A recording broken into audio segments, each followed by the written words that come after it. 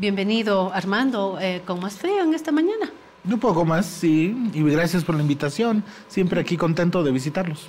Nosotros contentos, Armando, de, de tenerte acá para ir generando elementos de interpretación, de, de la información, de debate, para no entrar eh, así como caballo cochero a las preguntas. Antes de analizar las preguntas hay que ver cuál es el camino, eh, la ruta de este referéndum. Hemos invitado también a José Luis Exeni. Me indican, por favor, si lo tenemos ya. Ahí está. José Luis Exeni, vía Zoom esta vez. Eh, José Luis también es columnista de La Razón. ¿Qué tal, José Luis? ¿Todo bien?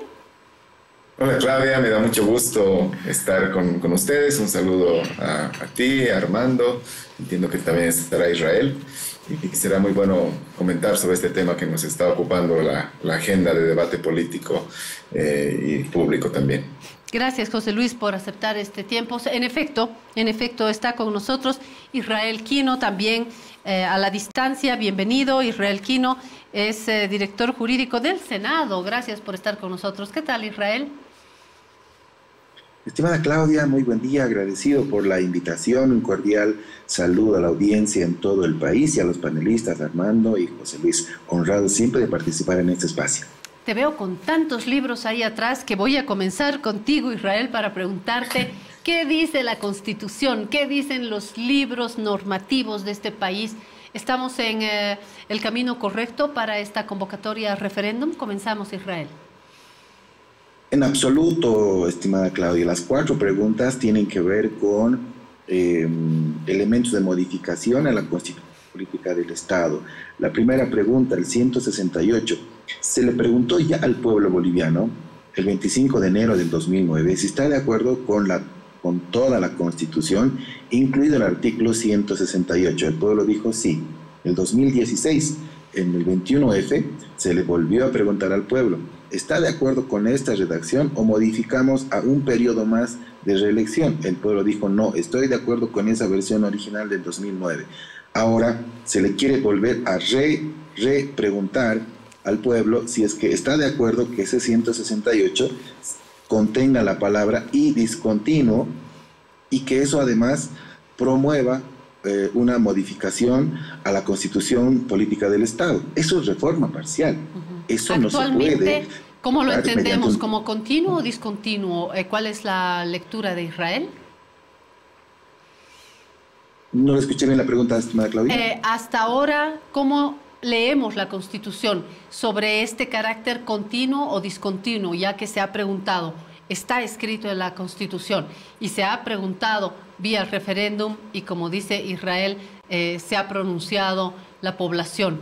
¿Cómo entendemos qué es lo que está escrito actualmente? Porque escucho voces ciertamente políticas que dicen que es una elección con una reelección y San se acabó y no puede volver de aquí a, a 10 años ni a 20 años y otros dicen que no, que no hay una especificación sobre el carácter discontinuo. Eh, Israel, ¿cómo lo lee? El artículo 168, estimada Claudia, de nuestra Constitución, en este momento no existe. Está inaplicado efecto de la sentencia constitucional 84-2017 de la reelección presidencial indefinida.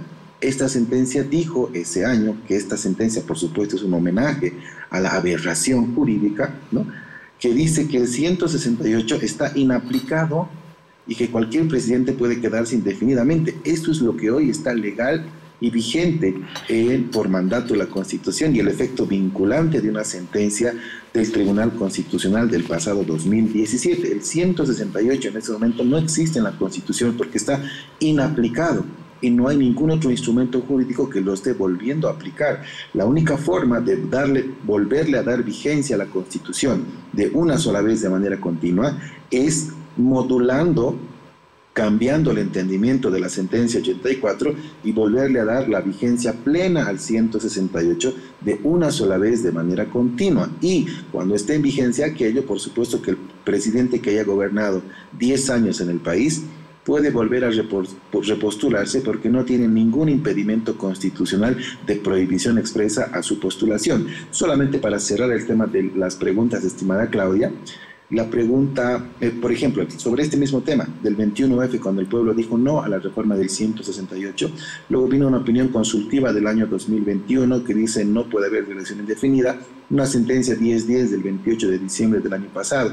Entonces, tantos instrumentos legislativos, cosa juzgada constitucional en la que el pueblo se pronunció el 2016 con el 21F, ¿acaso no está cerrado entonces el tema de la postulación del señor Evo Morales, que está dirigida la primera pregunta para él en específico efecto de las pretensiones del poder? Entonces, no había estado cerrado, no había estado cerrado el tema de la reelección o de la repostulación del señor Evo Morales. Sobre la pregunta 2 y 3, estimada Claudia, preguntar sobre subvención a la gasolina especial o al diésel es preguntar materia de hidrocarburos, ¿no? Esto eh, en concordancia y, por supuesto, disonancia con la Constitución. Más bien, el 297 y el 298 de la Constitución dicen, son competencias privativas del nivel central del Estado, numeral 18, materia de hidrocarburos, y que dice el artículo 14 del régimen electoral. Dice, se puede preguntar todo, menos las competencias del nivel central del Estado. Y una competencia a nivel central del Estado es, por supuesto, hidrocarburos. Finalmente, la pregunta cuatro, decirle al pueblo, preguntarle al pueblo, ¿está de acuerdo con que nadie pierda escaños de parlamentarios? ¿Cómo le van a preguntar al pueblo si está de acuerdo con que nadie pierda escaños si ni siquiera sabemos los resultados del censo? La ley 1492, promulgada por el propio presidente Luis Arce, dice en su único artículo, una vez que se conozcan los resultados, el Tribunal Supremo Electoral debe elaborar el proyecto de ley de redistribución de escaños. Entonces, ahora no dice la ley 1492 que el Tribunal Electoral responderá a los intereses del poder político y autorizará el control de legalidad de estas cuatro preguntas e irá al referéndum, inaplicando de hecho la ley 1492 que son la ley de resultados y aplicación del censo. Entonces, incongruencia, imprecisión, eh, parcialidad en las preguntas, por supuesto esto, en un control de legalidad, en un control de constitucionalidad, por supuesto que son plenamente inconstitucionales. Bueno, ¿qué dice Armando Ortuño, con quien habíamos hablado antes de que salgan las preguntas? Habíamos hecho énfasis en la ruta, en las formas. A quien le voy a preguntar también es a José Luis Exeni, que conoce muy bien de los mecanismos electorales, pero creo que hay una interpretación política también, ¿no, Armando? Antes. Sí, em, a ver, yo, lo que no, no, tengo elementos uh, jurídicos para decir si es, no es. Eh, simplemente yo diría, desde un punto de vista político tendríamos que tratar de, de, analizar la ruta que plantea el gobierno y si es una ruta que en términos políticos le permite lograr algunos de los resultados que ellos están prometiendo.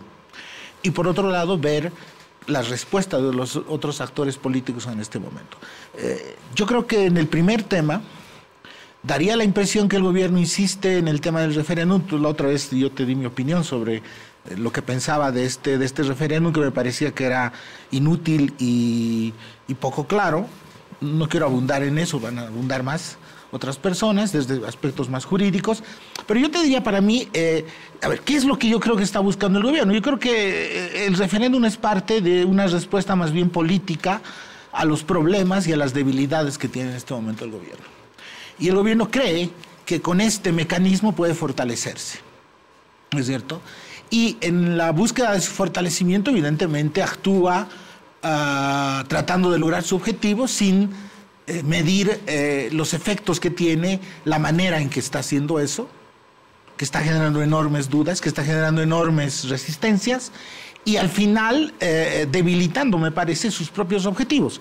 Entonces, ¿en qué sentido yo, yo, te diría que los debilita? Yo, yo creo que el presidente cuando planteó el 6 de agosto la idea del referéndum y lo repiten varios voceros gubernamentales, ellos hablan de que este referéndum debería generarte certidumbres, debería generarte un debate nacional sobre temas que son importantes, los escaños, el tema de la subvención, etcétera. Es decir, a priori, digamos, debería ser un eh, instrumento para mm, serenar la discusión política sobre temas críticos del país, eh, generar algunos consensos que permitan avanzar, por ejemplo, en la cuestión económica, generar algunas claridades sobre la ruta electoral 2025. Hasta ahí estamos bien, ¿verdad? Y suponiendo que logren eso, por supuesto, fortalecer el posicionamiento del presidente y del gobierno. Creo que esa es un poco la visión que ellos tienen eh, política. La idea de inicio. La idea de, inicio de este proceso. Que en muchos de los elementos uno puede estar de acuerdo, porque nosotros pedimos certidumbre, claridad, etc. Ahora, la pregunta es, ¿este instrumento, el referéndum, nos está permitiendo llegar a eso? ¿Cuál es el balance hoy día? balance objetivo.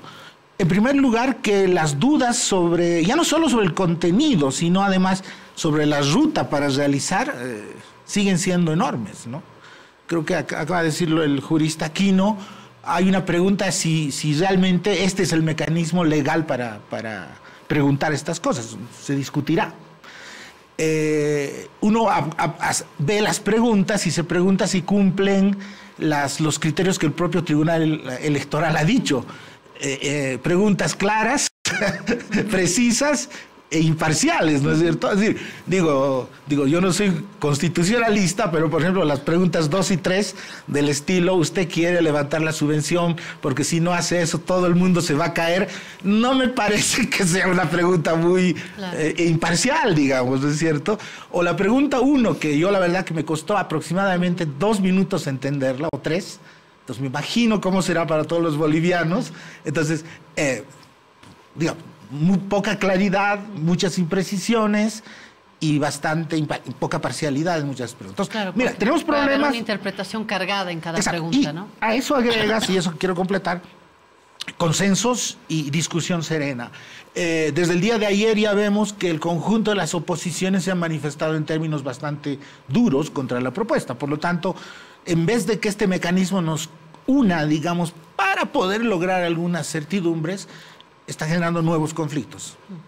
Es decir, estamos a un punto en el que si el proceso sigue, no descartaría que algunos opositores pidan el voto nulo, el voto blanco, el, voto consigna. El, desconocimiento del resultado, no sé qué cosas, ¿no es cierto? Eh, entonces, no hay consensos, pues al contrario, nos seguimos eh, abriendo las grietas, ¿no?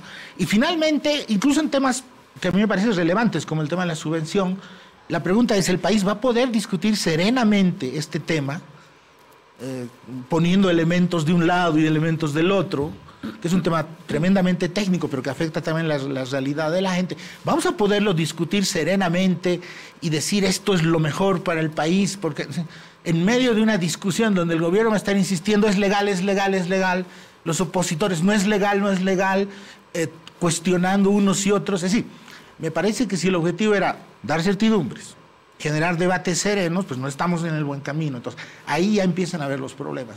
Y acabaría diciendo que me temo que, bajo esa lógica, si el referéndum avanza con ese clima político, eh, el voto del primero de diciembre puede ser un voto tremendamente incierto y un voto que tenga que ver más con consignas, más con odios, más con, posiciones contrapuestas que con un razonamiento sobre si queremos tener más de 130 diputados, si queremos eh, tener una economía más ordenada o, si finalmente no nos gusta la reelección porque es desequilibra la democracia. No sé.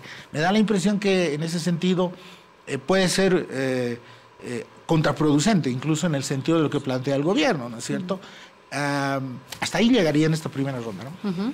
Ah, José Luis Exeni conocedor de el mundo electoral, de los mecanismos que hay en este ámbito, dentro de este poder que no es menor. Eh, plantear eh, las normas grandes que hacen al poder electoral y a los mecanismos que nos tendrían que llevar a la ruta normal, constitucional, ordenada de este referéndum. Eh, José Luis, ¿hay que marcar algunos pasos que no se están dando?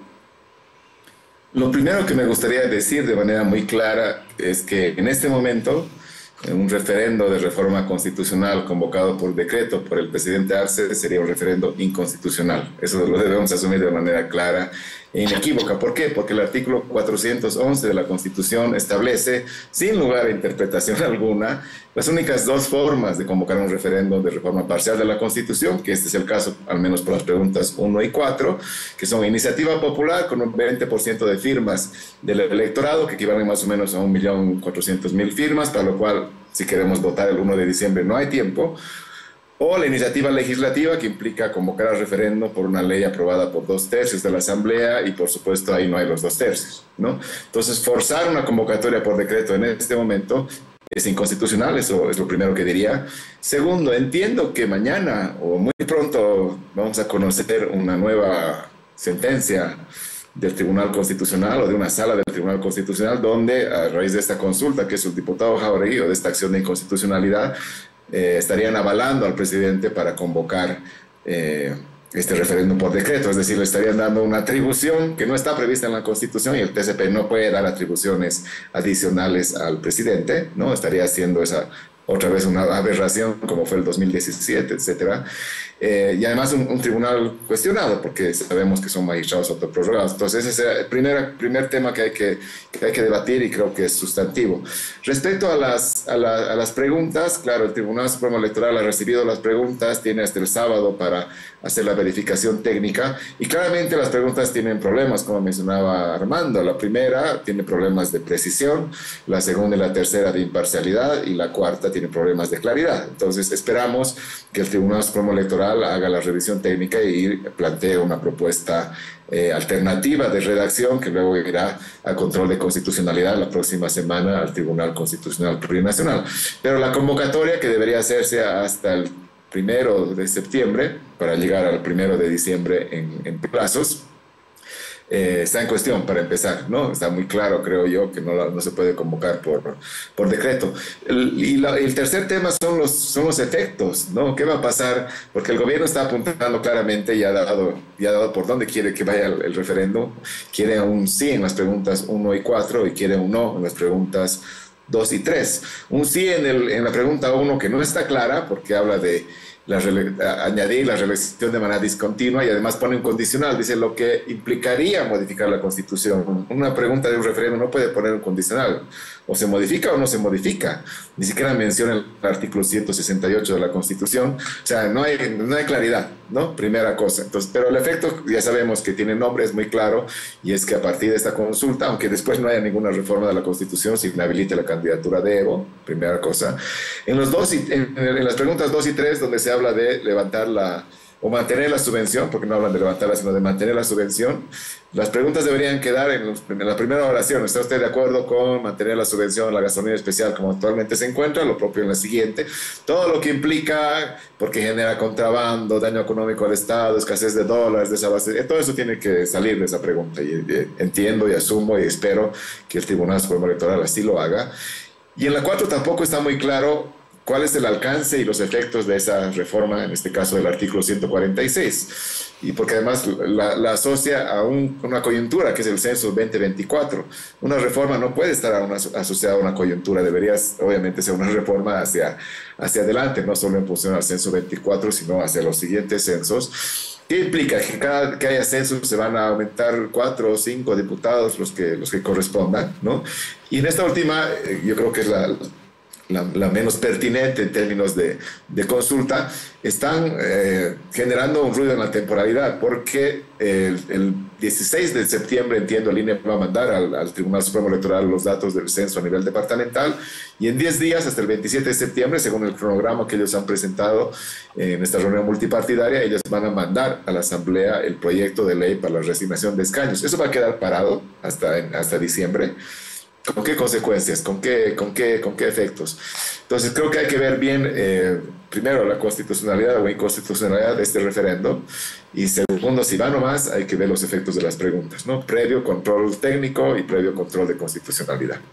Cabalmente ahí es donde hay que poner atención porque si los medios, si eh, los expertos van a dedicarse a el análisis, a... Mm, la especificación en la interpretación de las preguntas, nos perdemos del paso previo que creo que tiene que estar en primera línea en la reflexión y es cabalmente lo que dice eh, José Luis, que lo ha mencionado también Armando Israel, y es si este camino es constitucional o no. Cuando eh, retomaba la ruta José Luis Exeni, nos hablaba de estas atribuciones que le estaría dando el TCP, el Tribunal Constitucional Plurinacional, al presidente competencias que en la actual constitución no tendría. Entonces, eh, si no las tiene, no habría que pensar en las eh, dos rutas que sí posibilitan la puesta en marcha de un referéndum, a saber, la iniciativa popular o esta iniciativa legislativa y apuntar el debate ahí antes de perdernos en el análisis de las preguntas y no debería hacerlo el Tribunal Supremo Electoral, Israel? Es correcto, estimada Claudia. En este momento, en estos tres días que le quedan hasta el sábado, en virtud del artículo 18 del régimen electoral, el tribunal tiene que observar ¿no?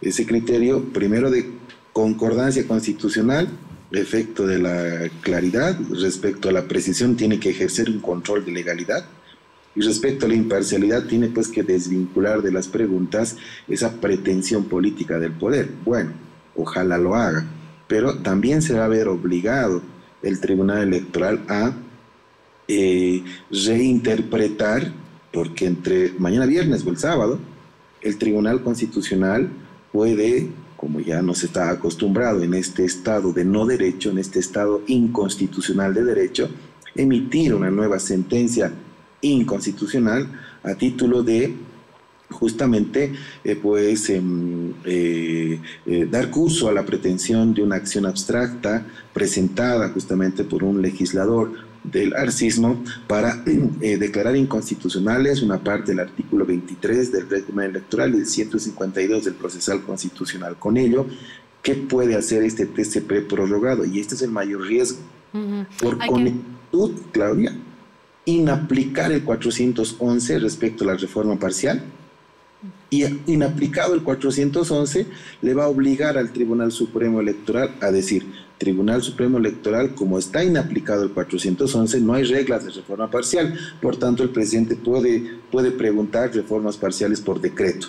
Esto es grave, esto va a quebrar el orden constitucional. Y el Tribunal Electoral, cuando sea notificado con la sentencia, dirá, ya no tengo, según el Tribunal Constitucional, está inaplicado el 411, por conexitud van a inaplicar las exclusiones del 14 del régimen electoral sobre consultas de populares, entonces voy a verme obligado a no observar ni eh, precisión ni claridad. Les cuento. Sí. Voy a decir al presidente, sus preguntas están bien, presidente, mandar a los prorrogados. Y los prorrogados dirán, presidente, está todo perfecto, como estamos en un estado de no derecho, le meteremos nomás. Es hora de quebrar ahora no solamente la constitución, sino ya la democracia. Aquí hay consecuencias políticas, se las voy a preguntar después de contarles que hoy mis colegas Rubén Atahuichi y Toño Dalén se entrevistaron en la Razón Radio al vocal del Tribunal Supremo Electoral, Gustavo Águila, quien informó que después de recibir las preguntas del presidente Arce, la ruta es la siguiente. A ver. Una vez que el presidente ha remitido esta carta adjuntando las cuatro preguntas o haciendo conocer las cuatro preguntas, se apertura un plazo que tiene el Tribunal Supremo Electoral, que es de 72 horas. Nosotros podemos incluir incluso redacciones alternativas con el propósito de garantizar que las preguntas tengan claridad, precisión e imparcialidad. Ya está en una revisión de una mesa técnica, podríamos decir, con técnicos del órgano electoral, una vez que ellos terminen este informe, ese informe va a pasar a sala plena para emitir un criterio sobre cada una de las cuatro preguntas. El presidente va a conocer el análisis técnico, de ahí empieza el análisis constitucional y el Tribunal Constitucional deberá emitir un fallo, una decisión sobre estas cuatro preguntas, tomando en cuenta también el informe técnico del Tribunal Supremo Electoral. Y este fallo puede tener dos sentidos, dice la norma. Bueno, pero acá el vocal lo que nos está diciendo es qué pasa con las preguntas, es decir, como si estuviésemos ya en eh, un punto de, mm, de referéndum constitucionalmente aprobado, pero eso es lo que no se ha dado.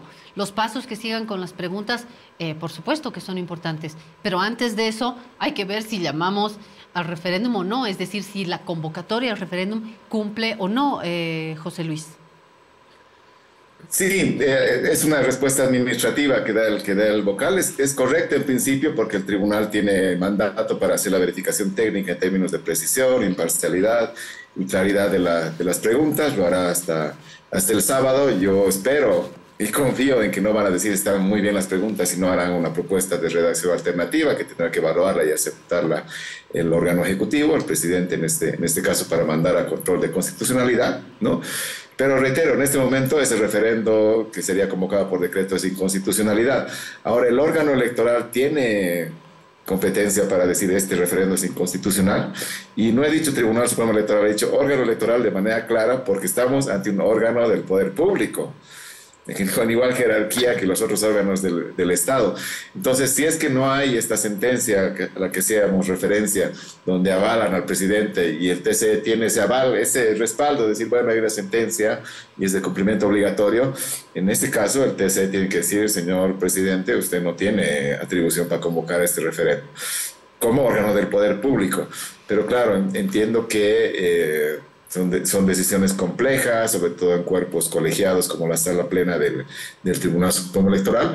Entonces, bueno, en este momento estamos en una primera etapa, revisión técnica, esperemos que, que sea correcta, luego irá a control de constitucionalidad. Ya cuando llegue el momento de la convocatoria, ahí, ahí sí esperaríamos que el camino esté no despejado, porque no se despeja con una sentencia constitucional que viola la Constitución para dar una atribución al presidente, sino más claro, sobre todo para el Tribunal Supremo Electoral. A mí lo que siempre me preocupa al final del camino es el modo en que este tipo de acciones políticas, donde no está muy clara la legalidad, la constitucionalidad, afectan la institucionalidad y desportillan y golpean la institucionalidad, en este caso electoral, que es una cosa que tenemos que cuidar, que tenemos que blindar, porque es lo único que nos queda al final del camino para eh, soluciones democráticas, pacíficas, electorales, institucionales y no un camino de violencia. Eso, a eso quiero ir cabalmente y se lo planteo a Armando en la lectura más política. Han dado varios elementos, José Luis, con más énfasis en lo que hace a la normativa electoral, Israel Quino en lo que hace a la normativa constitucional, eh, que por supuesto eh, van, van de una manera coordinada, y hemos visto solamente en este diálogo varios elementos que no están funcionando, comenzando por la manera como se convoca, no se está respetando ni la forma A ni la forma B en la iniciativa popular, iniciativa legislativa, luego se habla de competencias que podría dar el TCP, el Tribunal Constitucional plurinacional, que ya en sí mismo está viciado por su carácter prorrogado o autoprorrogado. Entonces, eh, ¿cómo es? ¿Va a seguir actuando? Siendo que tenemos elecciones próximamente, sigue actuando y le da esta competencia al presidente y entonces se llama por referéndum. Entonces, hasta aquí, fíjense cómo hay varios huecos legales, constitucionales, que pueden ser observados desde un control constitucional, desde el Tribunal Supremo o desde el órgano electoral, como bien remarca José Luis Exeni, y de pronto nos podemos perder en las preguntas, que si pone, si la coma, si el punto, si no tiene parcialidad, imparcialidad, y nos perdemos acá y estamos alimentando una espiral que no es de hoy, por supuesto, eh, podemos retroceder varios años, en el no respeto de la Constitución. ¿Y qué hacen? ¿Qué hacen para empezar las fuerzas políticas? Eh, los opositores, comunidad ciudadana, creemos, el levismo, van a decir, ah, bueno, ya vamos a, mejorar la redacción de las preguntas, nos vemos el día del referéndum. Por favor, van a levantar eh, sus estrategias políticas, van a asusar una tensión y em, un estado en la población que ya está estresado. Y cuidado, vayamos a querer resolver estas cosas en las calles. No quiero, no quiero invitar a ninguna acción violenta, pero eh, más de un experto eh, nos ha alertado ya sobre la posibilidad de una explosión social que la gente también eh, diga, yo estoy hasta aquí de todo esto y voy a defender los derechos en las calles. ¿O qué otro escenario político pueda darse, Armando? Es que, es que insisto, yo creo que la, la, insistencia de hacer medidas desprolijas, con grandes dudas de legalidad, como tú has dicho, no es nueva que como que nos estamos acostumbrando a eso, pero uno, uno se pregunta hasta dónde uno puede ir jalando la pita. Y me da la impresión que está jalando la pita cada vez de una manera más grosera, más fuerte. Y, y, entramos en escenarios en los que, por lo tanto, si tú jalas la pita, va a haber reacción. Y, y, cada vez más esa reacción, parte del tema de la incertidumbre, es que tú no sabes muy bien por dónde va a ir esa reacción. Entonces, yo creo que sí, eh, y en eso creo que hay una enorme irresponsabilidad, insisto, es más político, no, no quiero entrar en el tema jurídico que ya lo han comentado, es de cierto, hay un montón de, situaciones totalmente turbias en todo esto y que no ayudan a, darle claridad al proceso político, pero me temo que van a avanzar. Me temo que van a avanzar. Entonces, eh, no he visto ninguna señal de racionalidad, digamos, en esto. Van a avanzar. Eh, en una de esas, alguno de estos órganos dirá algo, parará algo. Espero que haya un poco de conciencia ya ni siquiera digo responsabilidad con el país, sino de conciencia con su propia responsabilidad, porque sucede de que todo poder es eh, temporal. En algún momento se va, van a tener que rendir cuentas ante el país de sus, de sus decisiones, finalmente, porque tienen implicaciones. Todo esto tiene implicaciones. ¿ok? Bueno, pero dejamos, eh, yo esperaría cierto, cierto, cierto, como digamos, cierto cierta posición de institucionalidad, esperemos, uno nunca puede perder la esperanza de que el Tribunal Electoral y el Tribunal Constitucional, hasta por autopreservación, decidan eh, calmar esto y tratar de, encarrilarlo desde un sentido más eh, sólido y jurídico, ojalá. Ahora, pero si no pasa eso, Claudia, es tu pregunta, yo me temo que, van a continuar que va a continuar este proceso. Y entonces ahí entramos en el, ámbito de la política. Y, yo creo que por lo menos va a tener un efecto, yo diría, no quiero entrar en escenarios extremos, pero por lo menos sí tiene un efecto que yo creo que ya, ya hay que evaluarlo, que es el efecto que al final todo esto va a acabar en el voto de los ciudadanos. Nos guste o no nos guste, va a acabar en el voto de los ciudadanos en diciembre, eventualmente. Y ya te lo dije la anterior uh, vez, en la anterior conversación, yo no sé que con, bajo estas condiciones, en qué estado de ánimo y con qué, eh, y con qué ánimo, insisto, mm. la gente va a responder a estas preguntas. Y puede resultar que esa elección sea realmente una elección que, en la que la ciudadanía responda en realidad otra gran pregunta, que es su satisfacción, su tolerancia, su bronca y su bronca frente a un montón de situaciones que yo creo que la gente percibe que no están tocando sus problemas reales, los que ellos exigirían en este momento que se tomen, y por otra parte sienten que el sistema institucional eh, hace lo que quiere. Entonces, eh, eh, es muy difícil ahorita predecir qué implica eso, pero sí te plantea que esa elección puede finalmente ser más que una elección que ordene el tablero, puede ser una, una elección que reordene de manera más caótica todavía el tablero y probablemente empecemos el 2025 en una situación todavía más desordenada de lo que ya ha sido este 2024. Entonces, yo creo que ahí hay también una responsabilidad. Por eso te digo, eh, los maquiavelos que arman estas cosas Maquiavelos de quinta, le he dicho. De quinta, la, otra vez, sí. sí, sí. No, no, quiero andar con adjetivos porque ya me han criticado de. Pero, y no quiero enojar, estoy de buen ánimo hoy día. Entonces, eh, eh, no, pero mucha de esta gente no calcula lo que viene después. Y me parece además que hay un elemento adicional que, que te lo pongo como análisis político. Eh, todo este zafarrancho constitucional, institucional que nadie entiende, está además acompañado de una realidad paralela cada vez más intensa, que es eh, el hecho que la gente siente que no se responden a sus problemas básicos, concretos. Y esto va a seguir hasta, hasta, hasta, hasta diciembre. Entonces, en vez de que tú digas, oye, simplifiquemos la política, tranquilicemos la política, porque nos tenemos que ocupar del tema económico que es tremendamente complejo y no es fácil, pues yo aquí sigo armando embrollo tras embrollo, embrollo tras embrollo, mientras a este otro lado parece que no le tiene ninguna pelota. E, en algún momento eso te va a costar. Yo me temo que está llegando el momento de la factura y puede que el inicio del cobro de la factura va a ser diciembre. Sí, yo estoy preocupada por la factura del supermercado. Subió el queso, no quiero que suba el pan, subió el Nescafé, subió el arroz, subió el azúcar.